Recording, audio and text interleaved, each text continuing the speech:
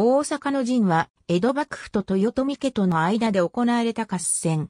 慶長19年の大阪冬の陣と、慶長20年の大阪夏の陣からなる。大阪の役とも呼ばれている。豊臣秀頼徳川家康と豊臣秀吉死後の豊臣政権においては五大老の徳川家康が影響力を強め、慶長5年に元御奉行の石田三成らが放棄した関ヶ原の戦いで家康は東軍の指揮を取り三成ら西軍を撃破する。家康は戦後処理や論考交渉を主導するなど実権を握った。この際、豊臣家の蔵入地を東軍への恩賞という形で全国にあった220万国のうちほぼ4分の3を削減してしまった。これにより、豊臣家の所領は、摂津、河内、泉の約65万国程度までそがれた。慶長8年2月12日、家康は伏見城で征夷大将軍に就任、江戸城をはじめ、不審事業を行うなど、政権づくりを始める。家康の政治目標は、徳川家を頂点とした長期的かつ安定した政権を作ることであったとされ、徳川家の主君筋にあたり、別格的存在となる豊臣家に対し、服属させるか、それが拒絶された場合には処分することを考え始めたという。同年7月、家康の三男、徳川秀忠の娘である千姫が秀吉の遺言に、基づき子の豊臣秀頼に腰入りした。慶長10年正月に家康が、続いて2月に、秀忠が、伊達政宗ら王の大名を加え10万とも16万とも言われる大軍の指揮を取り上落した。同年4月16日、家康は将軍職を辞して、将軍職を秀忠に譲り、自らの官位であった右大臣位を秀頼に譲る。将軍就任時の秀忠の官位が内大臣であったのに対し、秀頼はこうして右大臣になったが、秀忠の将軍職継承は天下にはもはや、豊臣家ではなく、徳川家が君臨することを示すものである。先の家康の将軍任官時の序列はまだ秀頼が上であって、同時に秀頼が関白に任官されるとする風文が違和感なく受け止められており、元服を前に秀吉の子として関白就任への可能性を残していたが、すでに家康、そして徳川政権が時を追うごとに優位になっていくことを止めることはできなかった。5月8日、秀頼が進化の礼を取るように高台院を通じて秀頼聖母の淀殿に要求した。淀殿は会見を拒否したが、家康は無痛の松平忠照を大阪に使わし、融和に努めている。慶長16年3月、後水の天皇の即位に際して上洛した家康は二条城での秀頼との会見を要請する。秀頼の上洛を求める家康に対し反対もあったが、加藤清正や浅野義長らと豊臣家恩子の大名らの取りなしもあり、会見は実現する。翌4月、家康は在京の大名22名を二条城に召集させて、幕府の命令に背かないという聖旨を提出させた。慶長17年、前年上洛していなかった東北、関東などの大名65名から同様の聖旨を取っている。ただし、秀頼からは聖旨を提出させていない。二条城の会見後の慶長16年に、浅野長政、堀尾義治、加藤清正が、慶長18年に、池田照正、浅野義長、慶長19年に、前田利長が亡くなったことで、豊臣家の孤立は強まり、幕府に無断で朝廷から官位を賜ったり、兵糧や浪人を集め出し、さらには前田家と吉見を通じようとするなど、幕府との対決姿勢を前面に押し出し始めた。豊臣家に対し融和策を取る徳川家も戦の準備は怠らず、工場兵器として国友単屋に、大鉄砲、大筒の政策を命じ、他にも、石火屋の鋳造、イギリスやオランダに対し大砲、炎症、鉛の注文を行っている。海外、キリスト教陣営との接触は、両軍ともに存在し、大阪城には、ポルロ神父など、多数のキリシタン、神父が籠城することとなる。こうした中で発生した方向寺証明事件により、両家の対立は決定的となる。慶長19年8月、豊臣家は、証明問題の弁明のために、片桐勝元を駿府へ派遣するが、家康は、勝元と面会していない。しばらくして、王の春長の母の大倉教局が駿府へ派遣されたが、家康は、大倉教局とは面会して丁重に迎えている。9月6日、家康は、豊臣方の徳川家に対しての不信が問題の要因であるとし、維新数伝と本田正純を使者として、大倉教局と勝本とを同席させた上で、双方の神話を示す方策を講じ、江戸に赴いて申し開きするよう要求したという。同日、家康は今度は、西国の大名50名から生死を取っている。勝本は大阪へ戻り、9月18日、試案として以下の3つの妥協案の一つを採用するように進言した。この案に、淀殿は怒り勝本は次第に裏切り者として扱われるようになった。秀頼や木村重成からの調停があったものの、28日に高野山に入るとして大阪城を出ることを決めたが、これは秀頼傍ら恩恵派の態度をも降下させ、不注者であるとして改易が決められる。10月1日に勝本は、蔵の米や金などの勘定の引き継ぎを済ませ、300ほどの増票を立き連れ、貞高、石川貞正らと共に、大阪城を退去した。勝本は、慶長18年に、秀頼から1万石を加増された際に、徳川家をはばかりこれを辞退したが、家康の命により配慮している。このように勝本は、豊臣家の家臣でありながら家康の家臣でもあり、豊臣家が勝本を処分しようとしたことは家康に口実を与えることになった。秀頼による勝本殺害の企ての法を10月1日に受けた家康はこれを根拠に同日諸大名に出兵を命じて、大阪の陣が勃発した。家康は、関ヶ原の戦いの翌年、慶長6年に、東道高虎の協力で築城を始めた、ゼゼ城を皮切りに、伏見城、二条城、彦根城、篠山城、亀山城、北野省城、名古屋城の再建、造営や江戸城、駿府城、姫路城、上野城などの大改修など、諸大名を動員した建築事業としてお手伝い部品を貸し、いわゆる天下部品を行った。この中で、駿府城の不信は、不信に対する主従関係の希薄な500国夫という形で行われ、これは秀頼の所領に対しても付加された。駿府城の改修により、家康は大御所政治を指導する。名古屋城部審の際には、豊臣家へも動員が命じられたが、淀殿がこれに拒否反応を示し、里闇になっている。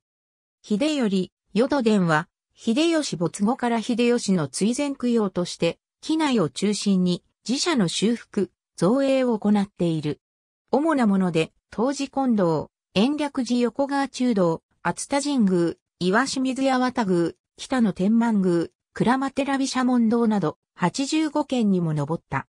慶長13年には、家康が方向時代仏殿に倒壊の再建を進めている。これら多くの造営で、秀吉が大阪城に残した金銀は底をつくのではないかという憶測も流れたが、実際には全く困窮していなかった。大阪の役で多くの戦費を消費したにもかかわらず、大阪城落城後、約2万8000枚の金と約2万4000枚の銀が幕府に没収されている。方向寺の証明慶長19年、同14年から豊臣家が再建していた京都の方向時代仏殿はほぼ完成し、4月には盆章が完成した。総奉行の片桐勝元は、盆章の名文を南禅寺の文英新館に選定させている。勝元は、駿府の家康へ、大仏海岸供養の同志や日時の報告などを逐次行っているが、海岸供養と大仏殿供養の日取りや、供養時の天台宗、真言宗の上下をめぐり、対立が生じていた。7月26日、家康は勝本に宛てて、海岸、大仏殿供養日が同日であることと、大仏度の胸札、本証名文が、旧例にそぐわないことに加え、その内容に問題があるとして、海岸供養と大仏天井棟、供養の延期を命じた。8月に家康は、五山の僧や林羅山に、証明文を解読させた。羅山は名文に家康図その意図があると断じたが、一方で五山の刀身はおおむね、意味名を犯したことは、手落ちとしたものの、図そ意図までは認めず、小国寺のように、武家はともかく、五山では意味名を避けないとの指摘を復帰するものもあった。また、新官自身は、あくまで家康に対する祝意として意図的に意味名を隠し台として織り込んだと弁明している。それに加えて、西国の戦国大名諸殺令を継承した豊臣政権下では、実名を書くことが尊敬の念を示すものとして扱われていた。宮本義美は、性や意味名そのものに政治的な価値を求め、市政や変気が盛んに行われた仏家社会において、名分の文言は徳川に対して何らの底意を持たなかったとすれば、あまりにも無神経。無論意図的に用いたとすれば、政局をわきまえない無謀な作文であり、必ずしも上げ足を取ってのこじつけとは言えない。勝本ら豊臣方の不注意を責めないわけにはいかないとしており、この考え方は以下に述べるように、笠谷和彦や渡辺大門に影響を与えている。この事件は、豊臣家攻撃の口実。しかし、家康の追及は終わらなかった。たとえ、名文を組んだ新官や、豊臣側に悪意はなかったとしても、当時の意味名に関する常識から鑑みれば、このような名文を断りなく組んで刻んだ行為は反、意味名であることには、違いなく、図相を疑われても仕方のない軽挙であり、祝意であっても、家康本人の了解を得るべきものであった。姓が用いられた豊臣と意味名が用いられた家康の扱いの差についての指摘もある。家康のこの件に対する追及は必要であったが、家康の強引なこじつけや捏造とは言えず、数伝の問題化への関与も当時の資料から見える状況からは伺えない。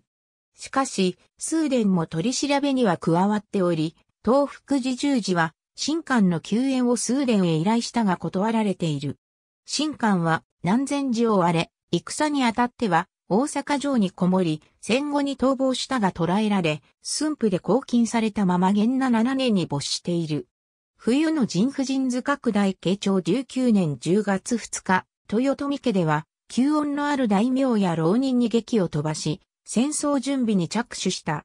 同日に、兵糧の買い入れを行うとともに、大阪にあった徳川家を、はじめ諸大名の蔵屋敷から蔵米を接収した。秀吉の残した莫大な金銀を用いて浪人衆を全国から集めて召し抱えたが、諸大名には大阪城に馳せ参じるものはなく、ただ福島正則が蔵屋敷の兵糧を接収するのを黙認するに、とどまった。また籠城のための武器の勘入れ、総構への修理、櫓の建築なども言った。秀頼の援軍要請に応じる大名がいなかったことについて、徳川方は秀頼が孤立したものとは見ておらず、島津家久からは、人質も取り黒田長政ら両名に対して、重点的に順地工作を行い、西国大名たちに、徳川秀忠に対して、重金を誓う気象文を出させていたことが原因では、ないかとする指摘がある。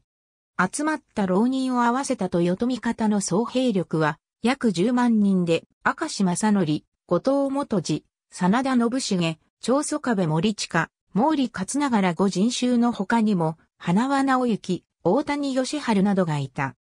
彼らはいずれも、関ヶ原の役後に、お家取り潰しなどに愛徳川家への復讐を考える者、戦乱に乗じて一旗あげようとする者、豊臣家の再起を願う者、討ち死に覚悟で、豊臣家への忠義を尽くす者など、それぞれの思想は異なるが、歴戦の勇士が多く、士気も旺盛だったが、いかんせん寄せ集めの州に過ぎないため統制がなかなか取れず、実際の戦闘では作戦に乱れが生じるもとともなった。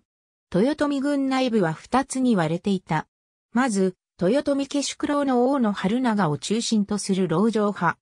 二重の堀で囲われ、さらに巨大な総堀、防御設備で固められた大阪城に立てこもり、徳川軍を疲弊させて有利な講和を引き出そうという方針である。これに対し、浪人衆の真田信繁は、まず、機内を制圧し、関東の徳川と西国の諸大名を遮断。大見国の瀬田川まで軍を進め、ここで関東から進軍してくる徳川軍を迎え撃ち、足止めしている間に諸大名を味方につけ、その見込みがない時に初めて城に立てこもって戦う二段構えの作戦を主張した。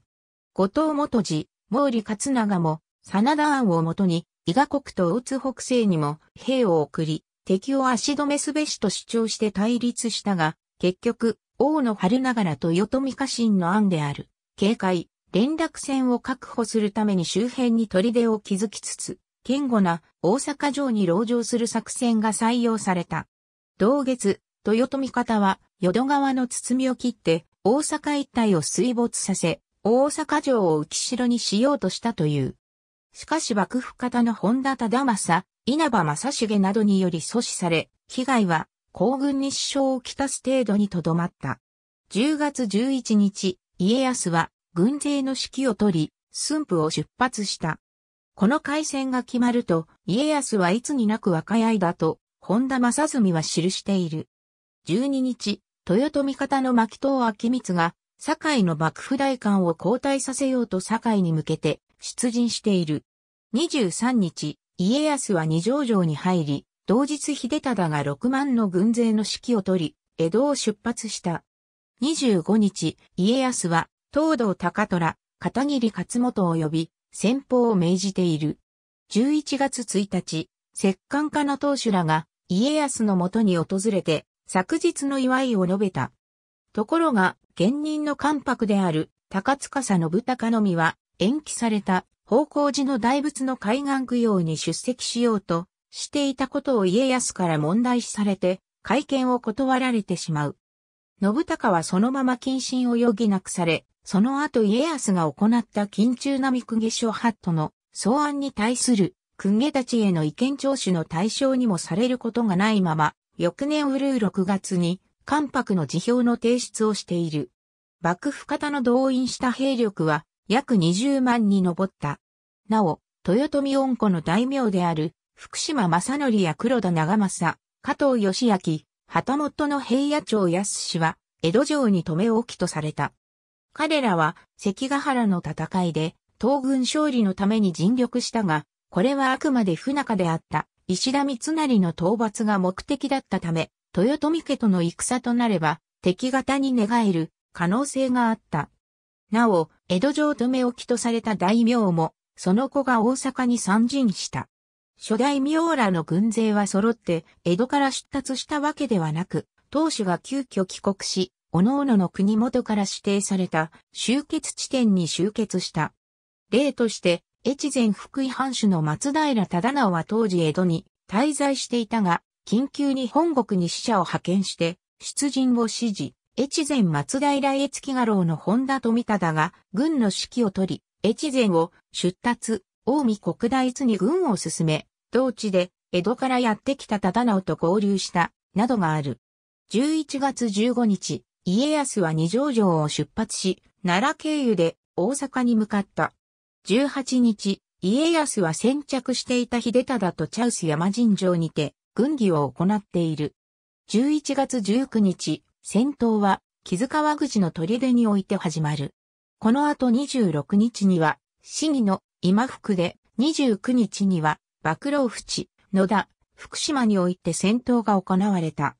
数箇所の砦が陥落した後、30日に豊臣軍は残りの砦を吐き、大阪城に撤収する。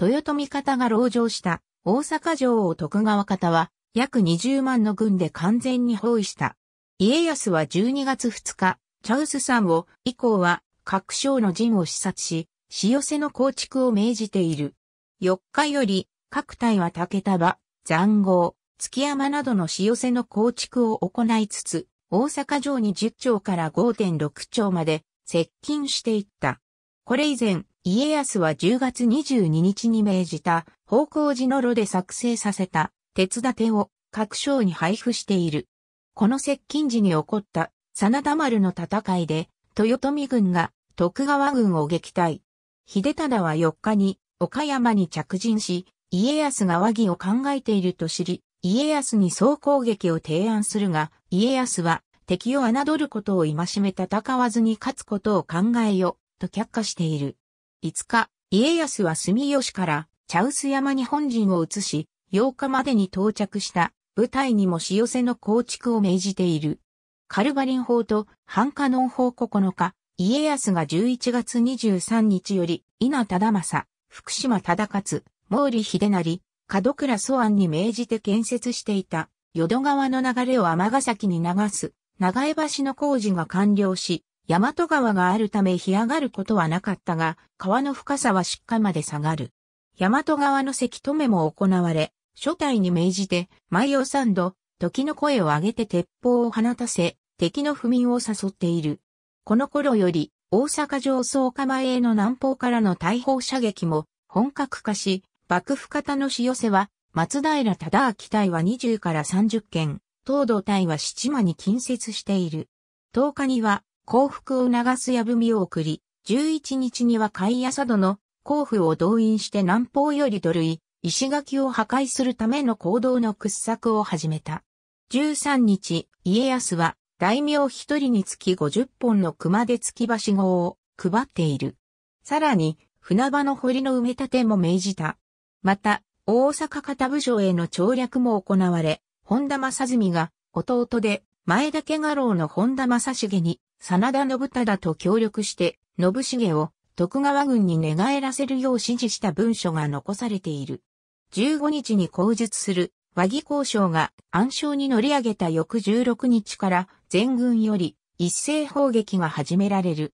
北方の備前島だけで大筒百門と石火屋が本丸北川の奥御殿に打ち込まれ、また南方の天王寺口からはこれまでの総構えから本丸南方の表御殿五対面所に目標を変更した砲撃が和議締結まで打ち込まれ続けた。この砲撃では、国友製三冠目の大砲、芝辻利石右衛門のにより鍛造で作られた鉄製の大砲が使われた。芝辻利石右衛門の製の大砲は、靖国神社の優秀館に奉納されている。6月頃にイギリスより購入したカルバリン砲4門、セーカー砲1門や7日前に兵庫に到着したオランダ製4.5巻目の大砲12門も含まれていると思われる。豊臣方は近づいてくる徳川方に、火縄銃で対抗。竹束のみの時は一手につき300から500人の死傷者が出たが、相手が月山、土塁を築くと、火縄銃の効果は激減する。淀殿は武具を着て3、4人の武装した女房を従え、番所の武士に声をかけ、激励していたと言われる。大砲も使い、花輪直行が、八須賀至る陣に野襲を仕掛け戦果を挙げた。徳川方は、豊臣方の買い占めによる兵糧不足があり、真冬の陣でもあったため、12月3日より、小田浦夫妻を通じて豊臣方との和平交渉を行っている。8.12日にも浦夫妻と大野春長が本田正純、後藤光次と講和について書を交わしている。15日には、淀殿が人質として江戸に行く代わりに、老上浪人のための画像を条件とした和議案が豊臣方より出されるが、家康はこれを拒否する。豊臣側は、兵糧と弾薬が足りず、徳川方が仕掛けた、心理戦や、櫓、陣屋などに撃ち込まれた砲弾で、将兵は疲れがたまる。本丸への砲撃が、淀殿の次女8人に、命中、8人とも死んだ。淀殿は、大阪城は10年でも持ちこたえられると言っていたが、凄惨な光景を見て和議に応ずることを決める。朝廷から御用税上皇の命により、17日に武家天宗の広橋県勝ちと三条西見城を死者として家康に和議を勧告した。家康はこれも拒否し、朝廷の介入を許さず、あくまで徳川主導で交渉を進めた。交渉は18日より徳川方の京極忠高の陣において、家康側近の本田正純、阿茶局と豊臣方の使者として派遣された淀殿の妹である常高院との間で行われ、19日には講和条件が合意、20日に聖書が交換され和平が成立した。同日、家康、秀忠は諸省の砲撃を停止させている。講和内容は、豊臣屋側の条件としてが提出され、これに対し徳川家側を約束することで、和議は成立。このほか、秀頼、淀殿の関東下校を行わなくてよいことも決められた。和議条件のうち、城の破却と堀の埋め立ては二の丸が、豊臣や三の丸と外堀は徳川家の持ち分と決められていた。城割は古来行われているが、大抵は堀の一部を埋めたり、土塁の角を崩すだけ、城郭の一部の破壊については、外周の外堀だけを埋めるという儀礼的なものだった。しかし徳川側は、松平忠明、本田忠政、本田康則を不審奉行とし、家康の名城である、本田正純、成瀬正重、安藤直次のもと、高位軍や地元の住民を動員して、特艦工事で外堀をすべて埋めた後、1月より二の丸も埋め立て始めた。二の丸の埋め立てについては、相当手間取ったらしく、周辺の家、屋敷を破壊してまで埋め立てを強行した。講和後、駿府に帰る道中家康は、埋め立ての進展について何度も尋ねている。工事は23日には完了し、諸大名は帰国の途に着いた。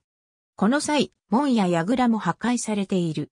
幕府方は、宋の文字をすべての意味に曲解し、強行的に内堀まで埋め立てる卑劣な手段を使ったとされてきたが、この話は広大に記された書物にしか記載されておらず、当時の第一次資料の中には確認できない。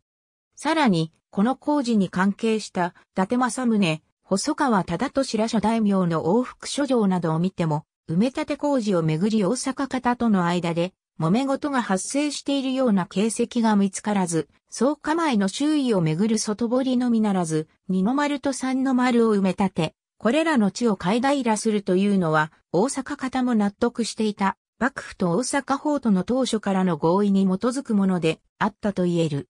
大阪城、炎上1663年江津大阪夏の陣営図和平成立後、家康は駿府へ、秀忠は伏見に戻ったが、一方で国友丹野に大砲の製造を命じるなど戦争準備を行っている。慶長20年3月15日、大阪に浪人の乱暴、老石、堀や兵の復旧、慶や伏見への放火の風文といった不穏な動きがあるとする方が、京都書次第、板倉勝重より駿府へ届くと、徳川方は浪人の解雇か、と豊臣家の違法を要求する。4月1日、家康は、機内の諸大名に、大阪から脱出しようとする浪人を捕獲すること、小笠原秀政に、伏見城の守備に向かうことを命じた。4日、家康は旧男、徳川義直の婚儀のためとして、春府を出発、名古屋に向かった。翌5日に、王の春長の使者が来て、豊臣家の違法は辞したいと申し出ると、常田会を通じて、その義においてはぜひなき幸せと答え、6日及び7日に、諸大名に、鳥羽、伏見に集結するよう命じた。冬の陣で、江戸に留め置かれていた、黒田長政と加藤義明は、本人の出陣が許されたが、福島正則は引き続き、江戸に留め置かれた。家康が名古屋城に入った10日、秀忠は江戸を出発している。12日、名古屋城にて、徳川義直の婚儀が行われ、家康は18日に二条城に入った。この頃秀忠は、東道高虎に対し、自分が大阪に到着するまで開戦を待つよう、家康に伝えてくれと依頼している。21日、秀忠は無事に上城に到着し、翌22日、家康と秀忠は、本田正信、正純不死、土井利勝、東道高虎らと軍議を行った。この時の徳川方の戦力は約15万5千。家康はこの軍勢を二手に分け、河内路及び大和路から大阪に向かうこと。この二手のほか、紀伊の浅野長明に南から大阪に向かうよう命じている。5月5日、家康は刑を発した。その際、自軍に対し、3日分の腰兵糧で良いと命じたという。豊臣方では、4月9日に交渉に当たっていた王の春長が城内で襲撃される事件が起こる。交渉が決裂し、再びの開戦は避けられないと悟った豊臣方は、4月12日に金銀を浪人衆に配り、部部の用意に着手した。また主戦派の浪人や王の春房らが埋められた堀を掘り返したりしている。和議による一部浪人の解雇や、もはや勝ち目なしと見て武器を捨て大阪城を去る者が出たため、この時の豊臣家の戦力は7万8千に減少した。一方、大阪城での籠城戦では勝つ見込みがないと判断し、総大将の首を打つ機会のある野戦にて、徳川軍との決戦を挑むことが決定された。なおこの頃、小田浦夫妻は大阪城を退去している。豊臣方は王の春房の一帯に安峠を越えさせて4月26日に筒井城系の守る郡山城を落とし、付近の村々に放火。28日には徳川方の平坦基地であった堺を焼き討ちする。大野勢は29日には一騎勢と協力しての奇襲攻めを試みるが、先方の花輪直行、丹野は重政らが単独で浅野長明勢と戦い、討ち死にした。その後、王の春長らは、浅野勢と対峙しつつ、5月6日まで、堺攻防戦を行った。5月6日、大和路から大阪城に向かう幕府軍3万5千を豊臣勢が迎撃した道明寺、本田合戦が起こる。寄せ集めの軍勢である豊臣方は緊密な連絡を取ることができず、後藤元自隊2800は単独で小松山に進出したが、伊達政宗、松平忠明2万以上から攻撃を受け、元次は討ち死にした。ついで到着した明石正則、すすきだ金助ら3600の兵も小松山を越えた徳川軍と交戦し、金助らが討ち死にした。さらに遅れて、真田信重、毛利勝長ら1万2000の兵が到着し、真田隊が伊達隊の先方片倉重長隊の進軍を押し止めた。しかし豊臣方は、八尾、和歌江での敗戦の法を受け、残兵を回収して交代。幕府方も連続した戦闘に疲弊したため、追撃を行わなかった。同日、木村重成の6000の兵と、長宗壁森近、増田森次ら5300の兵が、河内路から大阪城に向かう徳川本軍12万を迎撃した八尾、和歌江合戦が起こっている。まず、上新隊が霧の中を東道高虎隊5000に奇襲をしたが、幕府方の援軍に阻まれ交代中に追撃を受け壊滅した。重成は高虎隊の一部を破った後、井伊直高隊3200らと交戦の末に、討ち死にした。5月6日の戦闘の結果は、幕府方の優勢で、豊臣方は大阪城近郊に追い詰められた。夏の神婦人図拡大5月7日、豊臣軍は、現在の大阪市安倍の区から平野区にかけて迎撃体制を構築した。天皇寺口は、真田信重、毛利勝長など14,500、岡山口には、大野春房ら4,600、別動隊として、明石明等300、全軍の五詰めとして、大野春長、七手組の部隊計1万5,000が布陣した。これに対する幕府方の配置は、大和路勢及び、浅野長明4万を、茶臼山方面に、その前方に、松平忠直1万5,000が展開した。天王寺口は、本田忠友ら1万6200が展開し、その後方に徳川家康1万5000が本陣を置いた。岡山口には前田利常ら計2万7500。その後方に謹慎を従えた徳川秀忠2万3000が本陣を置いた。正午頃に開始された天王寺、岡山合戦は、豊臣方の真田隊、毛利隊、王の春房隊などの突撃により幕府方の大名、侍大将に死傷者が出たり、いくつかの隊が壊滅し、家康、秀忠本陣は混乱に陥り、家康が切腹を一度覚悟するまでに至り、ついにはその場を逃げ出すなどしたが、兵力に勝る、幕府軍は、次第に混乱状態から回復し体制を立て直し、豊臣軍は多くの将兵を失って午後3時頃には壊滅。唯一戦線を維持した勝長の指揮により、豊臣軍は大阪城本丸に総退却した。本丸、掘り返した堀以外の堀を埋められて、裸同然となっていた大阪城に殺到する徳川方を防ぐ術は、もはやなく、真田隊を壊滅させた松平忠直の越前勢が一番乗りを果たしたのを、はじめとして徳川方が城内に続々と乱入した。ついには、秀頼の下で大阪城、台所頭を務めていた大隅与左衛門が徳川方に寝返り、弟子下に命じて城の大台所に火をつけさせるという事態も発生し、全体に炎症した大阪城は怪人に返し、落城した。その燃え上がる炎は夜空を照らし、京からも真っ赤に染まる大阪の空の様が見えたという。なお、大阪城陥落直後の1615年6月11日付の長崎の平戸オランダ商館の関係者の報告では、徳川家康側に斜面を得るために寝返った数名の大名が秀頼を裏切り、城に火を放って逃亡を図るが叶わず、その場で城壁から突き落とされて死亡したとされている。七日猿の時に春長は、家臣の米倉権右衛門を死者として使わし、千姫を脱出させた上で自身以下が切腹する。代わりに、秀頼、淀殿の除名嘆願を行う。家康は秀忠に判断を任せたが、翌日8日に秀忠は、秀頼らに切腹を命じて、秀頼らがこもる山里丸にある焼け残りの蔵を包囲した井伊直隆勢が馬の時に鉄砲を放つことでこれを伝えた。これにより秀頼ら32人は自害をし、後に蔵内から火が上がった。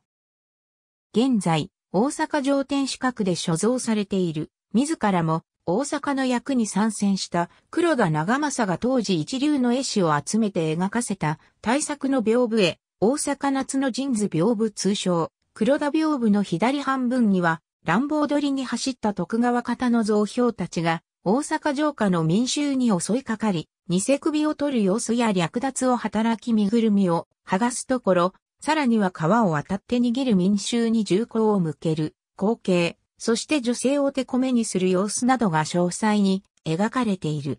落城後の混乱の中でも、豊臣勢の抵抗はしばらく続いた。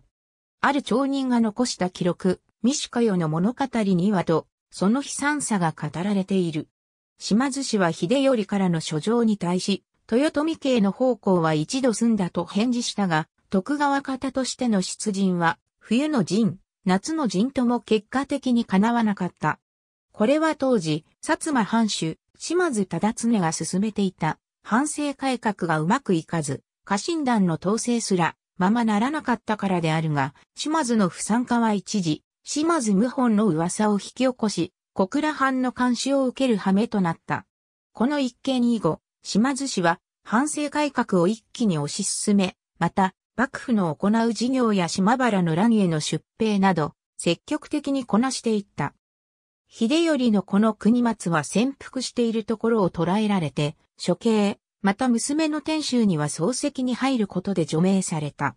報告者は廃絶され、家康の指示で大仏の鎮守にするために、方向時代仏殿の裏手に移された。大阪城に残された豊臣家の財宝は、家康の指示で1ヶ月余りにわたりくまなく捜索され、焼けた倉庫跡から金1万8000枚、銀2万4000枚を発見しすべて回収した。長祖壁森近はじめ残党の追尾は10年以上にわたって行われた。上司以外には、細川沖明は父、細川忠興から自陣を命じられ、増田長森は森継の罪を背負う形で入る先の岩付きで、また古田重成は豊臣に内通したという疑いから自陣させられた。明石正則の行方は定かではないが、その息子、明石小三郎は、寛永10年に、薩摩で捕まっている。また、長崎大官の村山仁康は、豊臣家に肩入れしたことと、キリシタンを庇護したことで1619年に、江戸で斬首となり、妻子も1622年の元羅の大殉教で処刑された。家康は、機内の寺社などに対して、落ちうどや、そのあずものの探索を命じており、この背景には、有力武将に止まらず、下下の武将までも捕獲し、豊臣方に組みした者を許さないという強い意志を内外に知らしめようとしたと言える。その一方で、仙台藩では、捕虜となった長祖壁森近の姉妹の子である柴田長尉が、仙台藩の奉行になったり、信重のこの真田主審が、仙台藩重臣、片倉重長にかくまわれて、後に仙台藩に仕官したりしており、実際の残党狩りは藩により温度差が生じている。また、旧室町幕府幕臣であった牧藤明光が、かつての同僚である細川忠興らの嘆願で除名されたり、小田翔斗が九州の東道高虎の嘆願で除名されるなど、特別な事情で処刑を免れた事例もあった。また秀頼に内通したとして、福島正則の弟で、大和国宇田松山藩主の福島田かばれが改易となった。江戸正樹藩では、松前義弘が内通の疑いで、父、松前義弘の命令で切られた。小田浦夫妻の着難と見られた小田頼長は、豊臣軍の武将として、徳川軍と戦ったため、浦久は所領を相続させず、頼長の弟二人に分与した。毛利輝元の密命で、豊臣軍に加わった内藤元盛は、戦後、徳川軍に捕獲されたが、毛利家は、無関係だと主張し、自陣した。照本は内藤元森の子二人を切り、孫を幽閉して、一旦内藤家は断絶となったが、元森の彦の代になって、毛利への家臣として復活を許された。戦後、大阪城には松平忠明が移り、町の復興に当たった。復興が一段落すると忠明は、大和郡山に違法され、以降、大阪は将軍家直轄となった。幕府は大阪城の跡地に新たな大阪城を築き、西国支配の拠点の一つとした。一方、松平忠輝は総大将を務める天皇寺合戦で地産したことが理由の一つとなり、翌年に改易となった。松平忠直は大阪城一番乗りの宝章が大阪城や新しい領地でもなく、初花片付きと十三味三義左この絵県中将への昇進のみであったことを不満としており、後に乱行の末、改易となった。戦後に新しい領地が幕府より与えられた例としては、伊達秀宗に、伊予国は島藩十万国、前田利隆に、上野国七日、師藩一万国、織田信夫に大和国宇田松山藩五万国が与えられ、八須賀至る鎮には、淡路国八万国が加増され、井伊直隆と東道高虎には、それぞれ五万国が加増され、水野勝成には、三河国刈谷藩三万国から、大和国軍産、藩六万国へ、加増店舗となった。松倉重政には、大和国五条藩一万国から、肥前国費、野江藩四万三千国へ、加増店舗、佐久間安政には、大見高島藩二万国から、信濃国飯山藩三万国へ、加増店舗となった。この戦いを境に、応仁の乱より断続的に続いていた大規模な戦闘が終焉した。これを源那演武という。大阪夏の陣での真田信繁の活躍はまず、屏風絵に見られる。最初に黒田長政によって作成された大阪夏の陣図屏風に始まり、後世、版画の西系に描かれるなど、徳川政権下でも後世へ語り継がれた。文献では特に江戸中期頃に書かれた真田三大記は信繁のみならず、真田一族の名を高めるのに貢献した。天皇寺合戦は江戸時代後期に書かれた島津家の伝承を集めた殺藩旧記で、真田日本一の兵、古よりの物語にもこれなきよし、そう別れの見申すことに、こう、家康が切腹も考えるほどだったなどと記された。また、家康本陣を守備していた、東道高虎の一大家である、高山金真録にも、お旗本を崩れと記され、東道勢は応戦はしたものの、真田隊の勢いの前では、効果なく、ほどなく、家康は本陣を捨ててしまい、高虎自身も家康の暗記を確認できなかったと振り返っている。後に、真田隊の猛攻を恐れ、家康を残して逃走した旗本州の行動を戦議したという大久保彦左衛門を覚え書きも残っている。また、信繁以外にも、毛利勝長、大野春房らも天王寺、岡山の戦いで活躍した。信繁は徳川軍の中を敵中突破した一方、勝長と春房は自軍の数倍もの徳川軍に正面から当たり壊滅させたと言われている。さらに、真田隊が強行突破できたきっかけとなったのは、毛利隊の快進撃を何とか防ごうと、松平隊の背後にいた浅野隊が毛利隊に当たろうとし、その動きを松平隊が浅野隊が寝返ったと思い、混乱したことでもあるとする説もある。真田隊や毛利隊がどれだけ家康自身に迫ったのかは諸説あり、そのため後世の創作である軍記、歌舞伎、錦絵や再現イラスト、歴史漫画では様々な様子が描かれている。また、家康の周囲にいた人間も、小栗又一、信重内寺にについても諸説があるが、一般的には、暗居神社で石畳に腰をかけているところを撃たれたと言われている。安井神社は天王寺公園、チャウス山の北にある一神寺の北に所在する。これは明治時代に当時の大日本帝国陸軍参謀本部が制定したものとされ、安井神社にある真田幸村戦死跡の日には戦死の地の選定に際しての参謀本部の関与を示す一文が刻まれている。信重を討ち取った西尾総司が属した越前松平家の文書が近年発見され、これによると、西尾は、生玉と小満の間の高台で休息していた、信重を討ち取ったといい、暗居神社説は五伝と見られる。鹿児島県には、信重は合戦で死なず、山伏に化けて、秀頼、重成を伴って谷山に逃げてきたという説がある。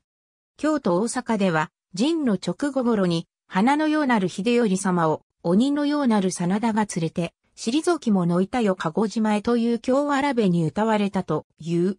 堺市にある南州寺には、大阪夏の陣で、チャウス山の激戦に敗れた徳川家康は、籠で逃げる途中で、後藤又兵衛の槍に疲れ、辛くも、堺まで落ち延びるも、籠を開けるとすでにこと切れていた。ひとまず意外を、南州寺の海山同下に隠し、後に改装したとの遺伝を伝えている。当地にはかつて東将宮もあり、元那9年の将軍宣言の折に二代秀忠、三代家光が相次ぎ参詣している。戦災で失われ、現在の東将宮、徳川家康母と名のある墓標は、かつての水戸徳川家家老末の三木慶次郎が昭和42年に再建したものだが、墓標近くには山岡手収筆と伝わるこの無名刀を家康の墓と認めるとの碑文も残る。大阪冬の陣で家康は一旦は牧師堀を埋め立てた後に再度兵を挙げることで大阪城を落としているが、この方法は家康が存命中の秀吉に直接聞いたものという逸話がある。冬の陣各省の配置は資料により移動がある。夏の陣オランダ人商人が陣前後の各地の様子を書き残した文書がオランダのハーグ国立文書館で見つかった。家康に寝返る大名がいたが、寝返る前に、秀頼によって突き落とされ死亡したなどの記述がある。2018年4月に、広島県立歴史博物館が、冬の陣、夏の陣の詳細な陣形を記録した最古級、最大級の陣図が見つかったと発表した。冬の陣図は4枚組で、中心の1枚に大阪城の本丸から茶臼山付近まで他の3枚には場外で戦いに加わった大名などの配置が記録され全体で2.5メートル四方の大きさ。夏の陣図は1枚で冬の陣の中心図と対になる構成になっている。大阪城で自害した32人は以下の通り。ヨドドの大野春長、大野春則、早見時行、早見、出来丸、毛利勝長、毛利長と高橋貞三郎、高橋十三郎、羽原八蔵、羽原三十郎、中高進愛、中高貞三郎、津川近春、武田長尾、堀津島守、武田佐吉、小室茂平、土佐正五郎、加藤弥平太、片岡十右衛門、森島長尉、伊藤武蔵守、土井勝五郎、真田交渉、氏家幸宏、寺岡津右衛門、阿古五局、大倉京局、宮内京局、右京大部局、玉局、相場局大阪夏の陣、1937年、この記事は以下のカテゴリーでも参照できます。大阪城五人衆に関するカテゴリー。ありがとうございます。